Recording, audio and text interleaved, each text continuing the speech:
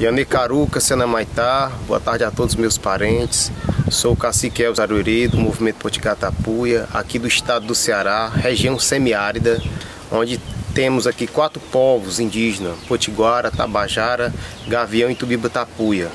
Nesse território rico e diverso, com tantas culturas, estamos sendo ameaçados pelo maior empreendimento do Brasil, que é o consórcio Santa Quitéria, que visa explorar urânio e fosfato na qual vem nos ameaçando as nossas matas, né, as nossas famílias, os nossos troncos velhos.